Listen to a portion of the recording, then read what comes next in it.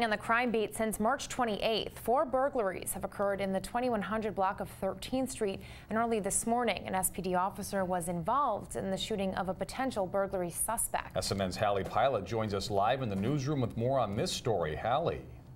Grant Nicole, good evening. Yes, in the past few days, there have been four burglaries, all within pretty much the same block in Sarasota, and items like tools, pretty much drills and saws are what's being stolen. So last night, early this morning, a couple police officers were out doing what they call proactive patrolling when they spotted a man on a bike. Sarasota police officer Adam Arena and training officer Jonathan Torres were patrolling in the 2500 block of 12th Street just after midnight.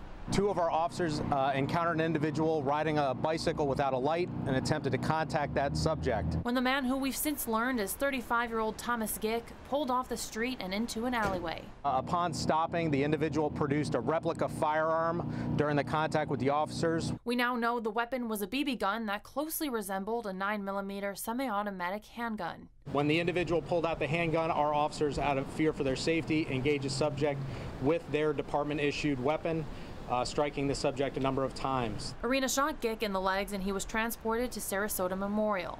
Gick has had run-ins with SPD before, but no arrests with them. He does have a history of arrest in Manatee County for domestic battery, possession of drugs without a prescription, and violation of pretrial release. Arena is on paid administrative leave pending investigation after what Robinson said was a frightening encounter that sometimes officers can't avoid. So it's not like it's happening out here on the street corner and we have time to dissect it.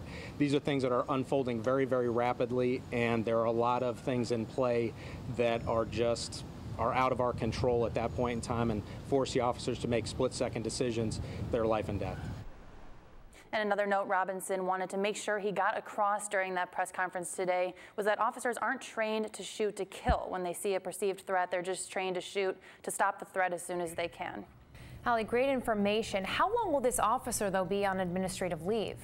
He'll be on paid administrative leave uh, while they're conducting their internal affairs investigation just to make sure that the police carried out all the necessary procedures and did everything right. And then they also have to wait until the investigation with these burglaries is over because Gick is a suspect in those as well.